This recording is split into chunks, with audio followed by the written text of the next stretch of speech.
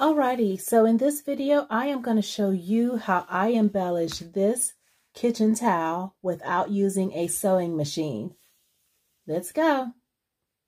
Alright guys, for this project, you're, uh, you're going to need a couple of things. You're going to need a thin kitchen towel. This is a, I guess it's called waffle weave. And this is a, oh, okay, this is mainstay. So this came from Walmart and I think this came in a four pack or a five pack. So you'll need a towel, you'll need some fabric, you'll need some scissors, a hot iron, and you're gonna need some Heat and Bond Ultra Hold. And this is the Heat and Bond Ultra Hold. It's the red and white wrapper, not the purple and white wrapper. I'm going to use this cardboard as my guide so I can measure off how wide I want my fabric to be that I'm going to put above these here stripes. And I'll just show you how I'm going to do this. I'm not sure if it will really work, but what I'm going to do for this video, I'm going to put the towel together and then I'm going to throw it in the washer so that I can um, see if it holds up in the wash. That's my biggest question is will it hold up in the wash? Because someone says, well, is there anything that can be done for towels that don't require sewing? And my initial response was, no, I don't know anything that you could do, but we're going to try and see if this works. And if this works, this is a win for sewers and non-sewers. Because sometimes you just want to do something quick without having to break out your sewing machine. You know, if you're someone who keeps your sewing machine stored away or in a closet or something. Because I know everybody doesn't sew every day or even every week. I really like this material. Got this print fabric from Walmart as well. I do know that off the top of my head because it came in a pack, like a bunch of little quarters so that's where I got the fabric from. And I'm just cutting right above where that crease was at because I don't want a whole lot of fabric bulk up under the piece that's going to be placed onto the towel. I'm going to iron that again just to make sure that my crease stays put.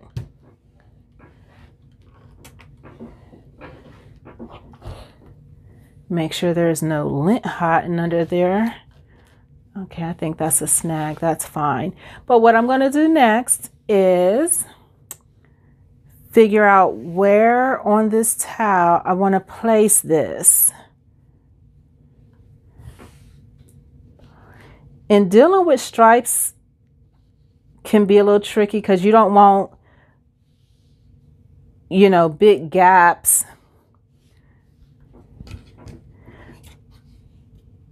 You want it to be as even as possible.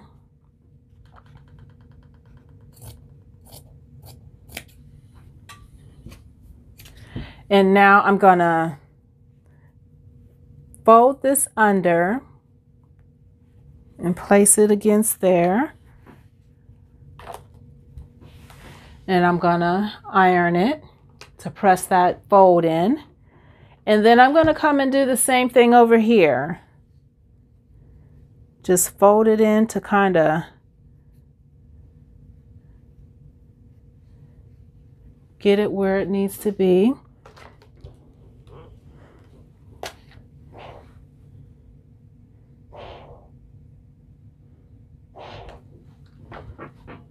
And I guess if you didn't like the stripes, oh, that would be even better looking. You know what, y'all? I'm about to just cover these stripes up. I mean, the stripes are cute and all, but yeah, I'm going to cover these up. Huh. I guess I should have cut that.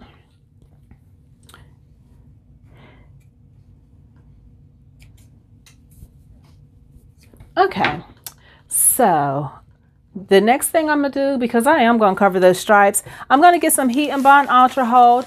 And I've got two steps that I need to do with this. I've got some scrap pieces that I'm going to utilize for the first part. And I do try to save as many scrap pieces as I can. And I'm going to put this under here. And I probably don't need that much. That's going to be a whole lot. So let's cut this in half.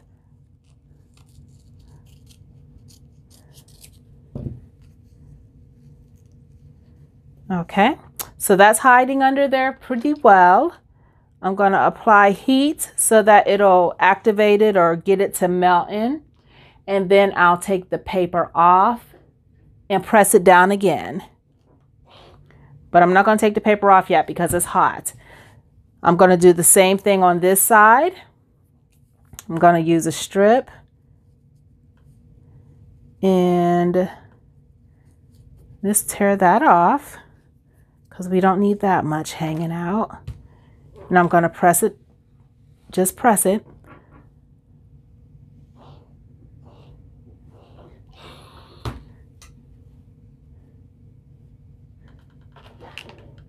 Sorry, I had to look to see if my iron was getting dirty because I saw it pull the fabric up. Now this side is cool. I'm going to take that paper off.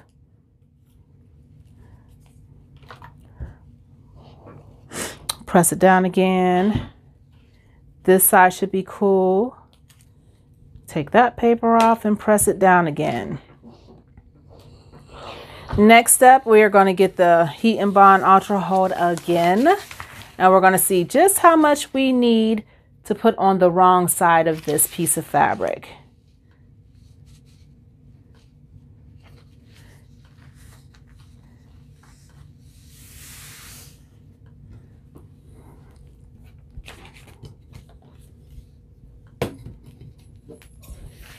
Oh, I hear my puppy downstairs.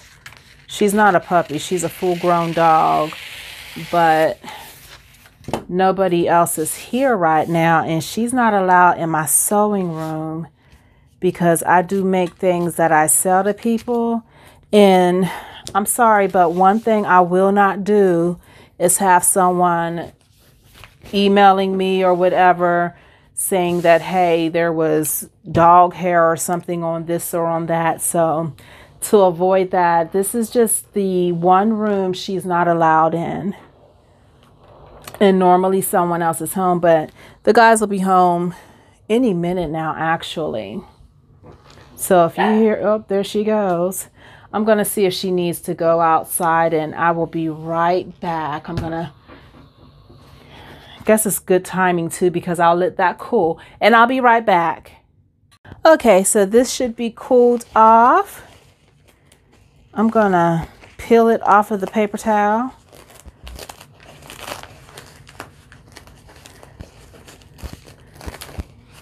This is why I use paper towel because I would rather waste paper towel than to have all of this covered in sticky adhesive stuff.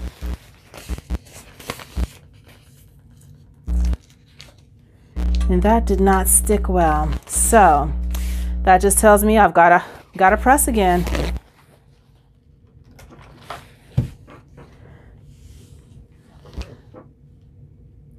And sometimes that will happen. You'll you'll need to apply a little bit more heat for a little longer time than the instructions actually say.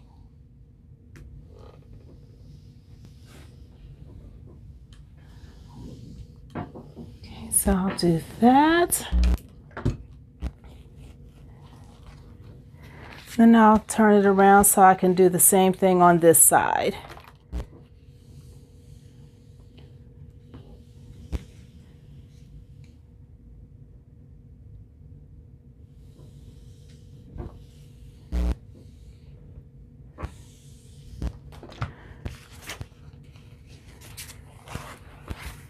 Then I'm just going to peek and see. know. It's going to take a little longer than I want it to.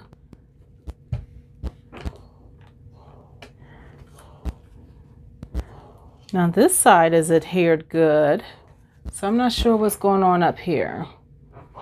So it's getting direct heat now. That's hot. Let me turn the steam off.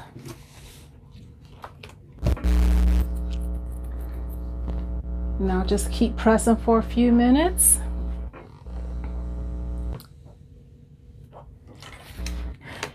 And I'm just trying to show you every step that I take so that you'll see what I do or don't go through.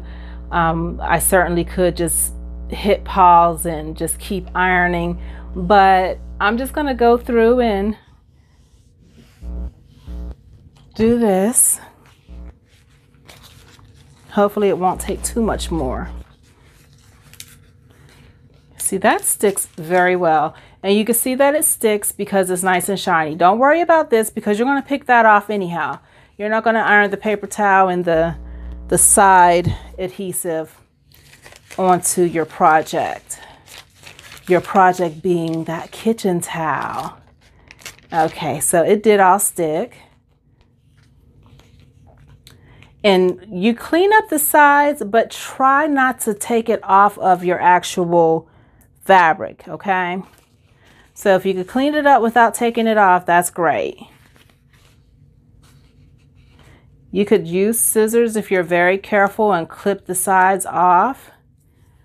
And since my towel is white, I am not going to worry too much about the adhesive stuff overlapping. And I am going to cover up that black and white. Yes, I am. Okay, so now we've got the Heat and Bond Ultra Hold onto the fabric. Gonna see where I wanna put this at. Make sure any extra lint and whatnot is off of there. And make sure that you do have the right side of the towel. You don't wanna put it on the back of the towel where that, that seam comes in at. That's the back of the towel. So this is the front of the towel. This little piece right here, that's just a string. I'm not even gonna bother with it. And I am going to put the print right here. Line that up. Just want to make sure I'm covering as much as possible getting it as straight as possible. And now I'm gonna iron again now this is steam And this towel is 100% cotton. So I'm not worried about the iron melting it. Um, there are some towels that have high and sometimes they're 100% polyester uh, material. I would not want to just run a iron over it without using something to protect your iron and to protect the item.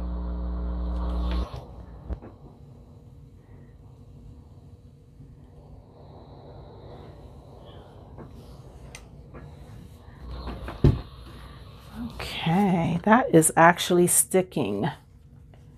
Okay, I'm going to press just a little bit more and then I'm going to turn it over and press again because I want to make sure all the adhesive is activated that I can possibly get activated. So I'll turn it over. Of course, you still have your black and white stripes here.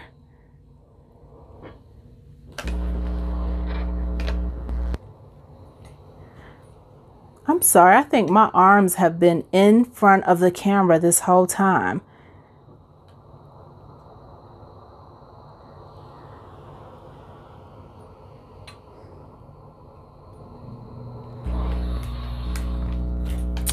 Alrighty, so now I'm gonna let this cool off and then I'm gonna throw it in the washer to see how it holds up.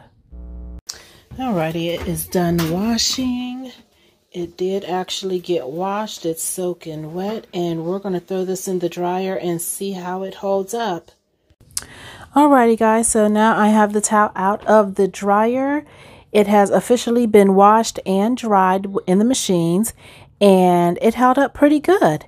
So tell me what you think. We have officially upgraded or embellished a kitchen towel without using a sewing machine.